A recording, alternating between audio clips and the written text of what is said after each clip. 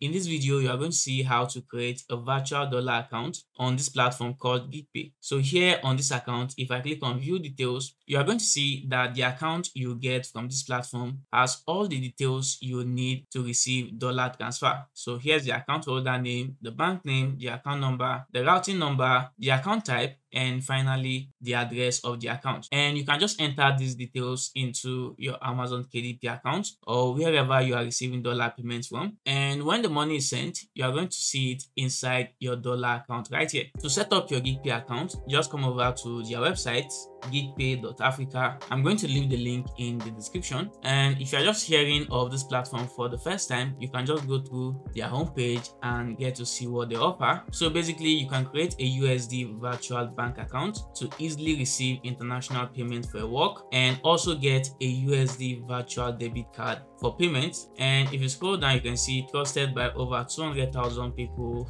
freelancers, creators, and all of that. And it basically involves three simple steps. First, you create your account then you go ahead and verify your account. And with that you'll be able to get a virtual USD account and also a virtual dollar card. So to get started just come over here and click on create an account. How will you like to use Geegpay you have two options. I'm a freelancer or I want to create a company account. If you want to get a dollar account that you can use on Amazon KDP Fiverr Upwork or any of those online earning platforms then you want to select I'm a freelancer. You select your location. For me it's Nigeria and then I'm going to click on continue. Then here just enter your email address. Referral code is optional so you can go ahead and click on continue.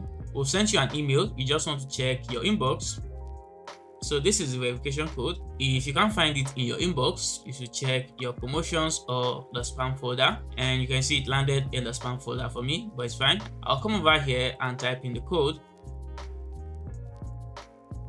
now you need to create a password for yourself and you should know that the password cannot be less than 10 characters and should contain at least one uppercase, at least one number and at least one symbol. So I'm going to type in the password right here and then click continue. And as simple as that, we've successfully created our Geegpay account. We can just close this for now Alright, now that you are done signing up, the next step is to verify your account. And these are the steps you need to follow to get your account verified. The first is to fill in what you want to use Geegpay for. Receive funds from employer, receive funds from marketplaces. You know, I can just check all of this. Um, you can basically check all of them or you can check the ones that only apply to you and then click continue. Now you need to fill in your personal profile. Very simple, your first name, last name, date of birth, nationality, phone number, and all this stuff. And once you are done with the personal profile section, you go into employment details, you enter your bank details, that's your Naira bank account where you want to withdraw your money to so that once USD is sent to your Geegpay account, you can convert it to Naira and withdraw it to your Nigerian bank account. And then finally, you need to verify your identity. If you're able to get all of this done correctly, you'll be able to request for a virtual US dollar account and also a virtual dollar card. This process is pretty simple and will take you just a few minutes. Now, I'm going to quickly walk you through all of these steps, starting with what do you want to use Geegpay for. I've already selected and then I'll click continue. Here, I'll just go ahead and enter my name, fill in date of birth, and then for nationality, I'll just look for Nigerian. And then here, I'm going to enter my phone number. After typing your phone number, click on verify so that a code can be sent to you, which you'll use to confirm that this phone number actually belongs to you. Now, time zone is optional, so I'll just keep that. Then here you want to fill in your residential address starting with the street. Then the country, state, city, and postal code. Usually, if you enter your street address, if it's on Google Map, Geegpay will just automatically fill in the rest for you. Then here you want to enter proof of address. So if I click on choose file, you need to submit a bank statement and then a utility bill. So you just need to request statement of account from your bank and then you can go ahead and submit a utility bill like your NEPA bill and both of these documents that you upload should not be older than three months. The document you upload can be PNG, JPEG or even PDF files. Each of these formats work just fine so I'll just click continue. Now I'm going to click on save. So we are done with personal profile. I'll go on to employment details. Here you want to enter the name of your employer. Where do you intend to receive payment from? For this I'm going to select Amazon Kindle Direct Publishing, or if you're using Upwork, Fiverr, Andela, Freelancer.com, anyone, then job information for occupation, I'll just use publisher then monthly salary you want select the range.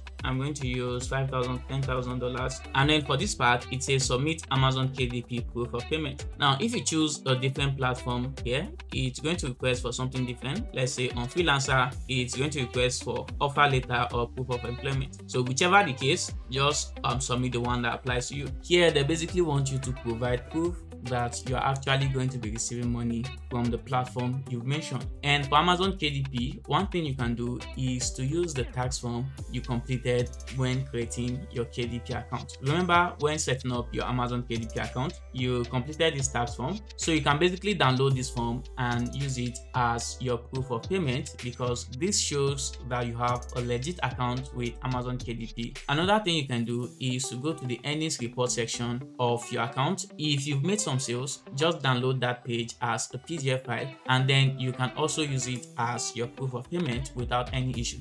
And then the last step here is to enter your LinkedIn profile URL. Just go to LinkedIn, copy your profile URL and paste it right here. But if you don't have all of this information right now, you can skip this step for now so I can come back later to fill in this part. But once you have everything in place, just click on save. Now you can see employment details completed. The final part is the bank account details. This is very simple. Just select the bank you want to add to your account, the account number, and then it is going to automatically fetch your account name. Then here you need to enter your BVN. After entering all of that, just go ahead and click on save and then you successfully completed your bank account details. The final step is to verify your identity and this simply involves you submitting a government ID, your national ID, passport or driver's license and then you need to take a selfie. So you can go ahead and click on start identity verification process. Then you select document type you want to use. Let's say national identity I'm not going to do all of this right now, but it's still very simple. Just follow the prompt and the instructions that is going to show you. And if you do everything correctly, once your account is verified and approved, you'll be able to request for a dollar account immediately and also get a virtual dollar card as well. So if you need a dollar account and you've tried using Payoneer and Payoneer is asking you to receive payment of $50 before you can get receive an account,